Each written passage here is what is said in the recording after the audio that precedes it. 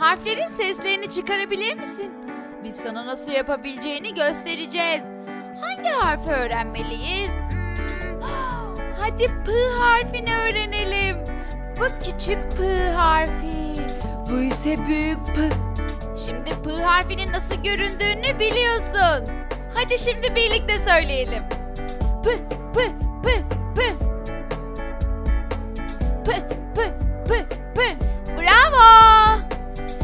harfi para için ve P harfi penguen için. P harfi parfüm için ve P harfi park için. P harfi polis için ve P harfi palyaço için. P harfi pantolon için ve P harfi papağan için. Bunlar P harfi için birkaç örnek. Hadi P sesini bir daha yapalım. Hazır mısınız? 3, 2, 1. P, P.